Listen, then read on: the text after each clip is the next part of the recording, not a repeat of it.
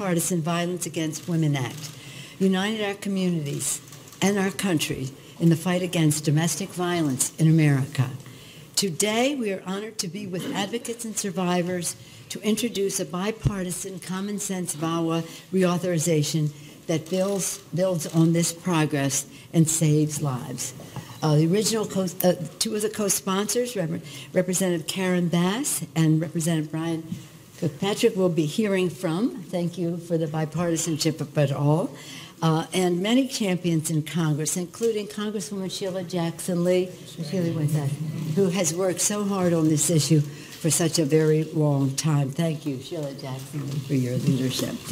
Uh, we are pleased that this bill is being introduced, as I said, on a bipartisan basis. There should be nothing partisan about pol- or political about ending the scourge of domestic violence and the sexual assault which one in three women face today. One in three women. We hope to receive more bipartisan support as the bill moves forward. The bill preserves the vital progress that was made in the 2013 reauthorization to protect the LGBTQ community, Native American community, and immigrant women. That was part of the fight. We, we couldn't get the bill to the floor because there was resistance to protect immigrant, LGBTQ, and Native American women. But then we did a bipartisan bill in the Senate and, and then our bill in the House, and that, that brought us success. And President Obama signed that in, the presence of many from those communities. And it builds on the progress with life-saving updates that reflect the voices of survivors and the input of experts, some of whom we'll hear from today. With this bill, we are empowering law enforcement and helping stop abusers and stalkers from obtaining firearms. We are supporting survivors with protections against discrimination in the workplace and unjust evictions. And we are strengthening protections, again, for Native American women because every woman everywhere has the right to live free from abuse. We urge all members to join us in strong bipartisan support for this bill. And now it is my privilege to, uh, he was there what, 25 years ago when we passed the bill in the House then. Some of us were involved with funding the legislation following that, and that, uh, that continues. But uh, now we have a champion for the bill who is the chairman of the Judiciary Committee, uh, Congressman Jerry Nadler. Thank you. In 1994, I was a member of the Judiciary Committee, a freshman when we first passed VAWA. Thank you all for being here to support the introduction of the Violence Against Women Reauthorization Act of 2019.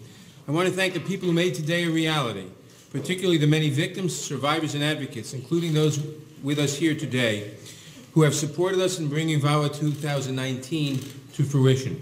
My colleagues and I, under the leadership of Speaker Nancy Pelosi, stand ready to work on your behalf to protect and enhance this indispensable, indispensable law. I want to thank Ms. Bass and Mr. Fitzpatrick for their leadership in this bipartisan effort to introduce this bill. And I want to thank Ms. Jackson Lee for her longstanding and tireless efforts over the years to protect and strengthen the Violence Against Women Act. When VAWA was first enacted in 1994, it was all too common for violent crimes against women to go without, proper, without appropriate response and to remain unaddressed by the criminal justice system. With the enactment of VAWA, Congress began to take seriously its role in ensuring that communities across America have the tools they need to combat the crimes of domestic violence, dating violence, sexual assault, and stalking. Victims, survivors, and the communities where they live have relied on Congress to help provide the resources needed to prevent, investigate, and prosecute these crimes and to assist survivors. Unfortunately, these programs and resources are still necessary. Every year, approximately 7.9 million women experience the crimes of rape, physical violence, or stalking by an intimate partner. And an average of three women are killed every single day by a current or former intimate partner. These are chilling statistics, and much still remains to be done. VAWA has been reauthorized three times before, in 2000, in 2005, and 2013 on a bipartisan basis. And we are here today on a bipartisan basis to reauthorize VAWA again. But this bill is more than just a mere reauthorization. The bill strengthens and improves the current law in many respects. Among other things, it expands the permissible use of grant monies focused on increasing survivor, law enforcement, and community safety. It improves services for victims. It dedicates considerable resources to prevention and training efforts. It enhances and improves responses to violence in a variety of areas, including in the healthcare sector and the housing sector. And it helps protect Native American women by enhancing tribal criminal jurisdiction, tribal criminal jurisdiction over certain types of crimes. It is quite fitting that we are introducing VAWA 2019 during Women's History Month and on the eve of International Women's Day. We must support VAWA and the many people who will benefit from it.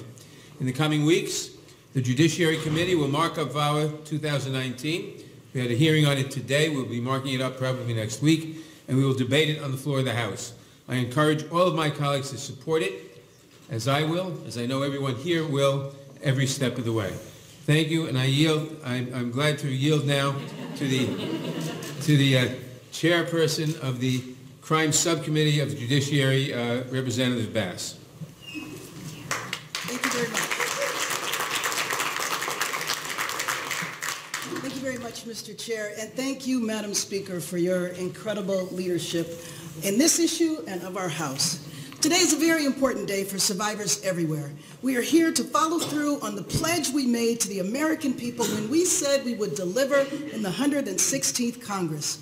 We said reauthorizing the Violence Against Women Act was a priority in the first 100 days of this Congress, and today we are keeping our word by introducing the bipartisan Violence Against Women Act of 2019.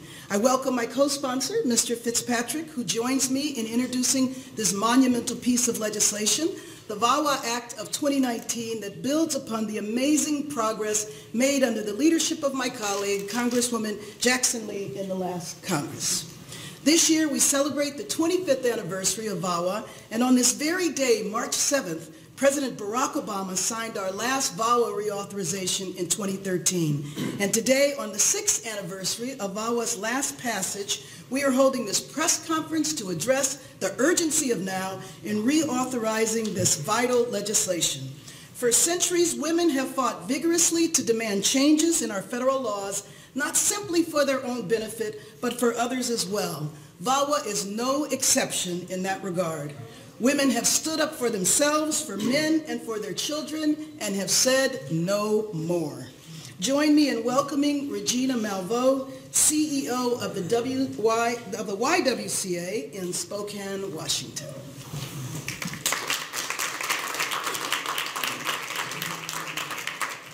Good afternoon. Uh, as um, Representative Bass indicated, my name is Regina Malveaux.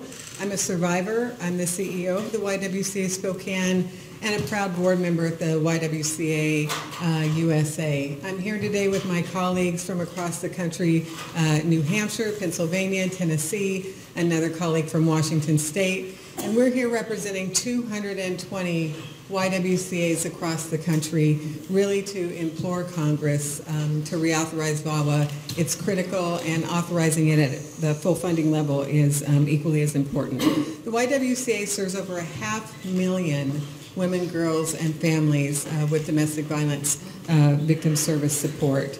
Uh, in Spokane, we serve over 17,000. Spokane, Washington is a population of about 400,000, and our organization serves 17,000 uh, women and children uh, with support services, including shelter, counseling, and legal services. That gives you some sense of the gravity of the problem. And even so, um, our funding um, authorized by VAWA only allows us to serve one-third uh, of the victims who come seeking legal services. So we're required to turn two-thirds of those victims away based on um, our attorney capacity compared to uh, the demand. And um, one example of a client who benefits from uh, VAWA and the services provided under it uh, was Jill, who was a survivor uh, living in our shelter after receiving a protection order and support with uh, assistance with a parenting plan to keep uh, her children from having to um, spend um, regular time with the perpetrator. Too often the family uh, law system is manipulated by perpetrators and uh, victims and children continue to be victimized. Uh, when I spoke with Jill, um, she told me, I will never forget what the YWCA did for us and how important you were to our survival.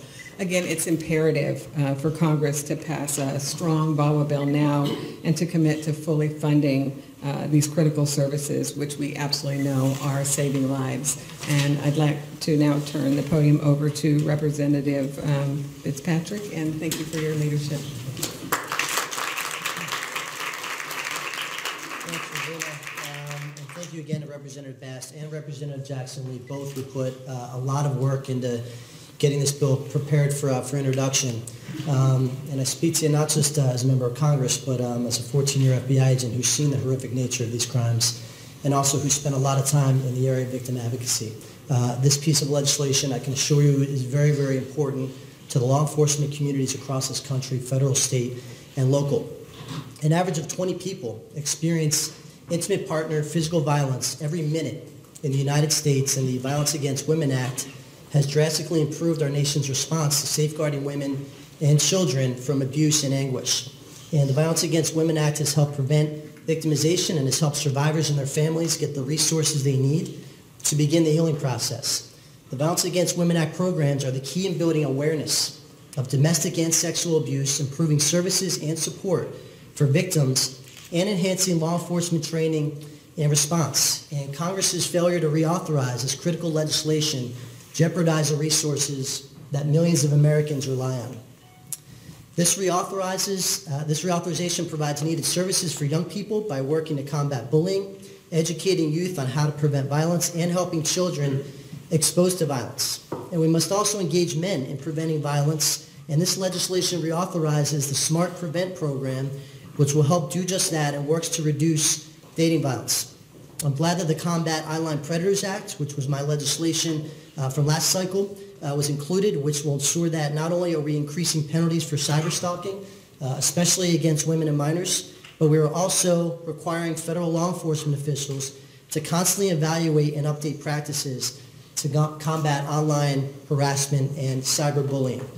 Uh, in Bucks County, a woman's place provides housing for women and families who are in life-threatening conditions, and this reauthorization increases the protections for survivors and ensures that they have the necessary protections to live without fear.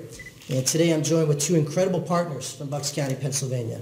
Jen Hines, who is the Director uh, of Advocacy and Outreach for Women's Place, Bucks County's only domestic violence agency, serving survivors of domestic violence for 42 years. And Pe- Penny Ettinger, who is the Executive Director of Network of Victim Assistance, also known as NOVA. NOVA is a rape crisis and comprehensive crime victim service and encourage this Congress to move forward with the reauthorization of VAWA. I would now like to turn this over to Patty, Penny Ettinger. Thank you.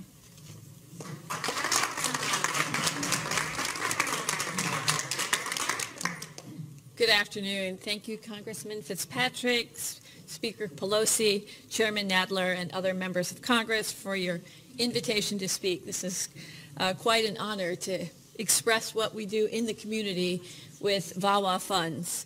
Uh, NOVA is the comprehensive victim service organization in Bucks County, providing services to over 3,600 victims each year, many who are victims of sexual assault, human trafficking, stalking, and other serious crimes.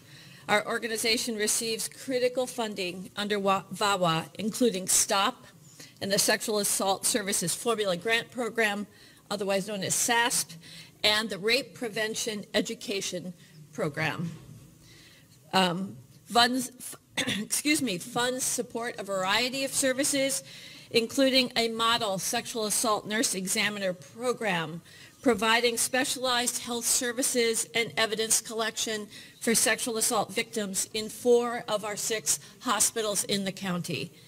The RPE funds, or the Rape Prevention Education Funds, that NOVA receives for prevention education provide significant financial support to expand primary prevention programs that are key to preventing child sexual abuse, preventing sexual assault, and violence against women, girls, and minorities. VAWA funds are the sole public source for our sexual assault prevention education programs for children, youth, and college students. However, the demand from schools and community has increased dramatically with the Me Too movement. So we are ever looking to expand those programs. If our country is going to have a significantly, a significant decrease in the number of sexual assaults among the next generation, then funds for VAWA must be available to provide for the development and implementation of age-appropriate, evidence-based programs that are culturally appropriate and promote healthy attitudes and behaviors. I will now turn the floor over to To Congressman. Representative Debbie Gwen- Dingell. Oh,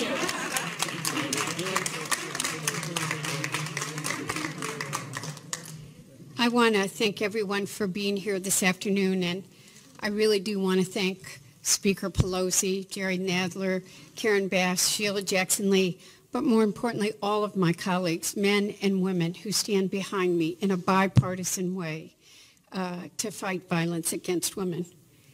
We desperately need to reauthorize this act. I spend, a, as you can imagine, I spend a lot of time with these groups, and they're really scared. I was at Safe House in my own district, and they don't know how they're going to continue programs. And unfortunately, instead of there being less need since this bill was originally passed, there's more need. No woman, child, or man should fear for their life because of domestic violence. And without the updates and support of the critical programs in VAWA, we're moving backwards. Good pro- programs helping victims are worried that they're going to disappear. And I want you to think about, you've heard these wonderful women who are out there helping others, that it's one more stress point on top of all of the other stress when they're trying to help people. So today you've already heard the powerful stories from actual people who rely on the VAWA uh, programs, and you've heard from my colleagues on the top lines of what the bill does. So I want to talk about two specific ones that people don't think about as often as they should. One, a bill that I introduced last year is now part of this, zero tolerance for domestic abusers. You heard me talk on the floor last week. This bipartisan bill, and it really is important to acknowledge that this is bipartisan, closes loopholes that make it easy. Right now, people don't understand how easy it is for perpetrators of dating violence and those convicted to still get a gun. People with a history of domestic violence shouldn't have access to guns. 76% of the women murdered by a current or former intimate partner experienced stalking in the last year of their life. Think about that. Closing loopholes that allow stalkers to have access to guns saves lives, period.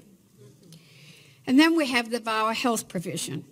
The health provisions in this bill strengthen the health care system's identification, assessment, and response to survivors of domestic violence, sexual assault, and dating violence. Studies show a strong correlation between those receiving mental health and substance abuse services and the likelihood of domestic abuse as the root cause. Provisions in this bill bring together our way too fragmented mental health and domestic violence systems so we can actually serve the survivors. There's no reason a survivor should face hurdles when trying to connect with the services they need to recover. VAWA is a bipartisan effort. We need to reauthorize this bill.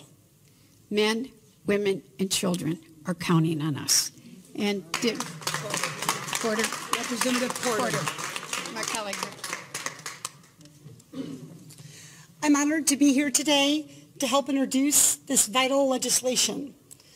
Like millions of others, I suffered domestic violence. So I understand all too well how important it is for women, men, and children in America to have trained people to turn to during some of the scariest moments of their lives. This legislation will provide the resources to train local police and first responders to respond appropriately. The first time I called for help, the officer who arrived told me that if I called for protection again, my children would be taken away from me.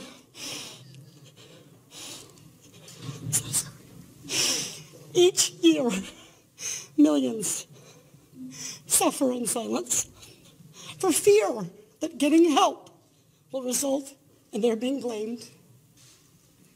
I waited weeks, but I did have to call for help again. And when I did, it was a huge difference. The officer who arrived told me I was brave. He told me I could survive. He told me he would help me, and he protected my kids, me, and my husband, and helped us all get the help that we needed. That is what this legislation is about. It's about making sure when men and women and children around this country call for help, those that arrive on the scene know what to do and are willing to do it. I apologize for my tears.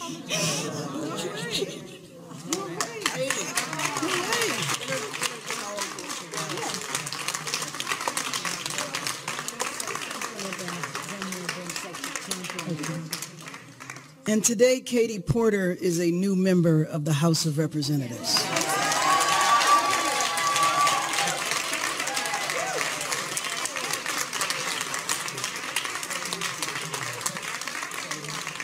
Today, you've heard from the Speaker of the House, the Chairman of the committee, you've heard from survivors, you've heard from activists, you've heard from other members of Congress. Representative Gwen Moore, who has been a leader on this issue, is coming up right now.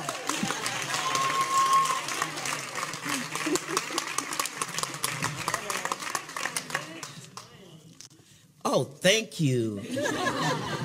Karen Bass.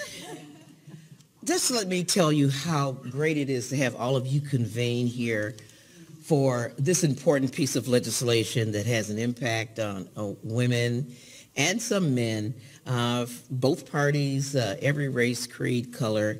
I want to thank Speaker Pelosi and Chairman Nadler for uh, having me be here today to speak on the reauthorization of the Violence Against Women Act. And I also want to welcome and invoke the spirit of Louise McIntosh Slaughter, who uh, was the original sponsor of this legislation. And as many of you know, VAWA means a lot to me personally.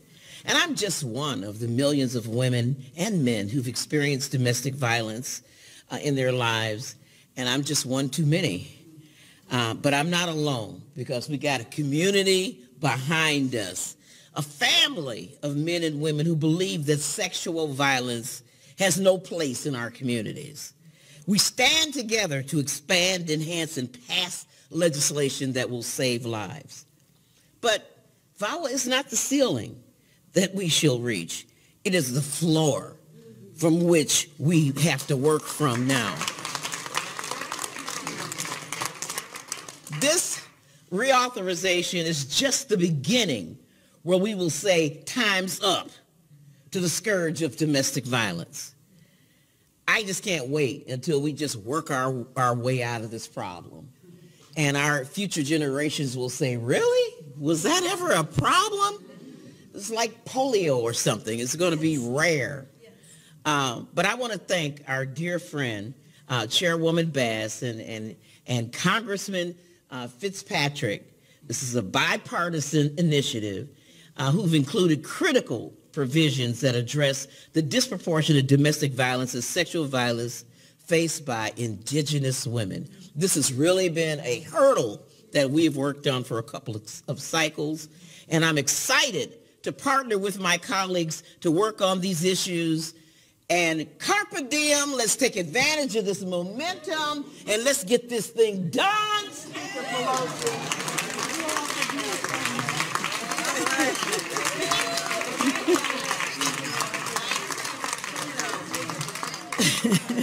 Let me just thank all of the activists and the advocate organizations for your hundreds of hours, your months, your years of working on this reauthorization. This concludes the press conference. Thank you very much.